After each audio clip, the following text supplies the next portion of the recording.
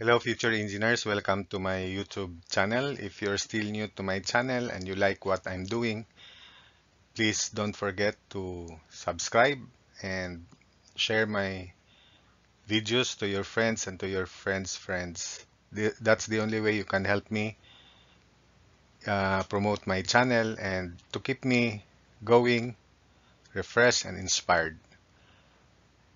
And I'm I'm very willing to share my knowledge, especially topics in civil engineering for your benefit.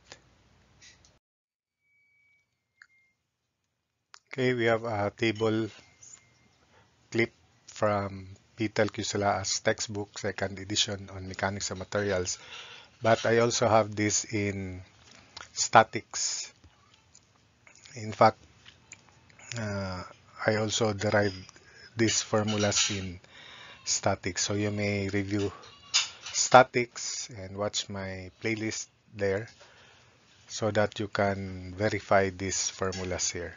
So properties of areas bounded by MOME, M, this one in general by M equals kx to the n. So when the degree is zero, it is horizontal flat. So it is a rectangle. So naturally the area is BH and the location of barred X is one half of B.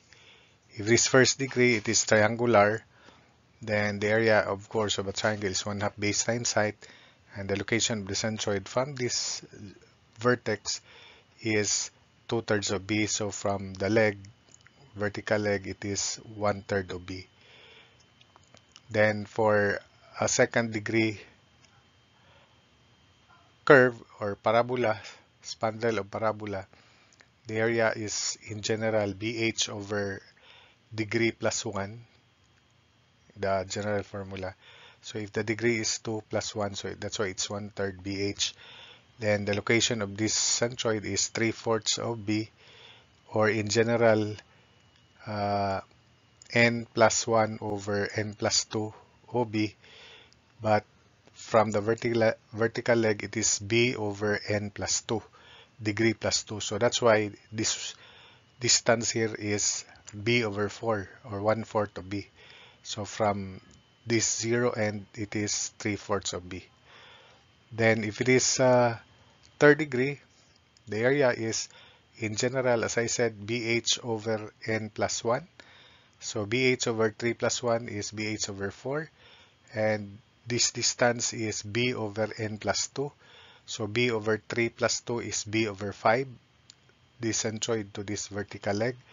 That's why barred x is uh, 4 fifths of b or n plus 1, 3 plus 1, 4 over n plus 2, 3 plus 2 is 5. So that's it.